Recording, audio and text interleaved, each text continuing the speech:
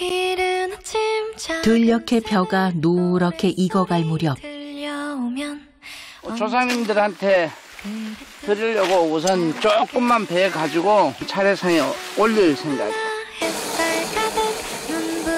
추수를 끝내고 물 빠진 논에서 밑꼬리를 잡아가면 어머니는 추어탕을 만드셨지요. 시집 와서 여기 와서 했지. 24살에 왔어, 시집을.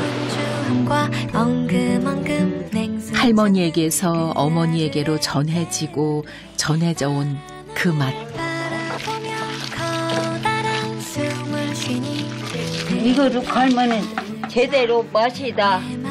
제대로. 먹어도 먹어도 질리지 않고 그리운 그 맛. 맛은 그 사람만의 손맛이 다 있어요. 똑같은 재료를 똑같이 집어넣어도 그래요. 우리 엄마 냄새 참 좋다.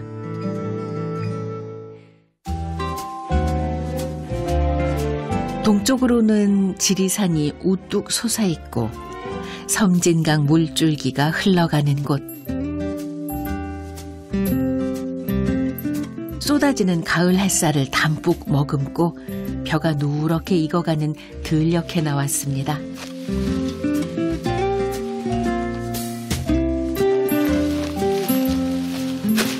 첫 추수하시는 거예요? 그러죠. 올해는 첫 추수인데 조금 이르지. 어, 조상님들한테 드리려고 우선 조금만 배 가지고 나머지는 이제 기계로 추수를 하는 거지. 저 뵈시는 분 중에 되게 젊어 보이는 분이 있네요. 우리 둘째 딸, 따님이세요? 예, 직장에 있는데 도와준다고 내려온 거지. 매년 이렇게 와서 도와주세요. 저요 2주에 한 번씩 와서 도와드려요. 엄청 효녀신데? 예? 엄청 효녀세요. 몰라. 본인이 그거 몰라. 당연한 거라고 생각해. 어, 우리 옆에 분은 그럼 마을 주민분이세요? 어, 예. 마, 마을의 친구. 친구, 형님 친구라고 친구가 하면 아니고 동생이지. 한단 동생인데요. 나는 더 젊다를 없애야 생각해. 원래 이렇게 도와가면서 일하시나 봐요. 같이 만나고 그러면 재밌어요. 그 시간 나서 한 번씩 오면은 재밌어서 그런 거지 뭐. 조상들께 올리는 쌀이라서 이옛 방식으로 정성을 들이는데요. 그 수고를 덜어주려 마을 분들이 모인 겁니다.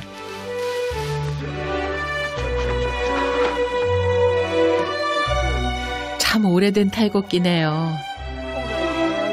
자, 황선 씨. 60년대, 70년대 초반. 그러니까 이제 그 우리가 그 디젤 기계들이나 이제 동력을 이용할 수 있는 기계들이 나오기 이전 시대.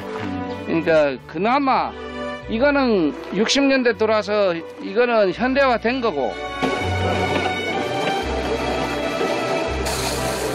그 시절에는 나락을 세워 며칠을 말렸다가 겨울 내내 탈곡기를 돌려서 쌀을 얻어야 했죠.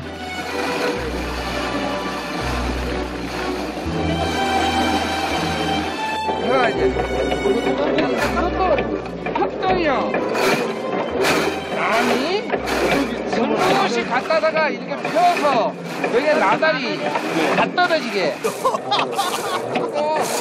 아니, 옛날에 이거 하루 종일 아 옆에서 봤을 때 여기 그냥 뭐 재밌을 것 같지? 아무것도 아닌 줄 알았어. 근데 막상 해보니까 아이고 당황스럽네. 떨어진 나달이 하나라도 버려지지 않도록 비질하며 주우러 다녔던 어릴 적 풍경도 떠오릅니다.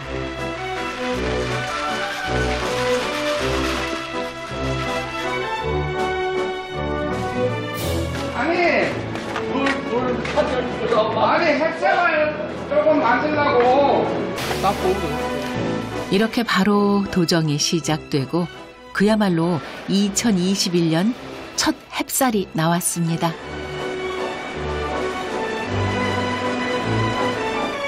이걸로 이제 우리 가서 밥을 할 거야. 즉석에서 도정을 해서 밥을 하면 훨씬 더 찰지고 고소하고 좋지.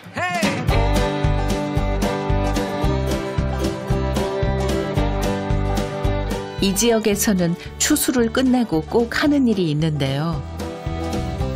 야, 일로, 일로, 와. 나 오는 대로만 와. 야, 큰아빠 뒤에 따라가. 큰아빠 발, 발버튼 데만 가. 갑니다. 야, 이쪽, 진명 이쪽으로 와. 옆으로 와, 옆으로 와. 별을 베고 난 후 논바닥에서 잡는 가을 영양식. 어? 잡힐까, 잡힐까? 잡혀. 에이, 소리 많아. 오! 지명아, 맞지? 풀숲에 많이 숨어있지? 바로 미꿀입니다. 미꾸리. 우리 토종. 뚜렷하게 하얗고, 이게 등은 검게 전무늬가 딱 있는데, 맛도 다르고, 그 미꾸라지는 뼈가 단단해서 우리가 채로 걸러서 추어탕을 만들고 얘는 구우면 뼈까지 다 물러져 버려. 부드러워요. 예, 그만큼 연해. 섬진강 물줄기가 곳곳에 스며들어 남원에서는 옛날부터 미꾸리를 잡을 수 있는 곳이 많았는데요. 미꾸라지보다 구수해서 더 대접을 받았답니다. 자, 뼈 들고, 쳐. 아이 굵은 놈 들어갔다. 횡재다. 횡재다. 횡재다, 횡재. 횡재했어? 네, 근데 횡재 진짜 있어. 많아요. 진짜 횡재 있네. 우와. 찍으면 나와. 공작이야, 공작. 가을이면 통통하게 살 오르는 미꾸리를 양동이 가득 담아 집으로 돌아가면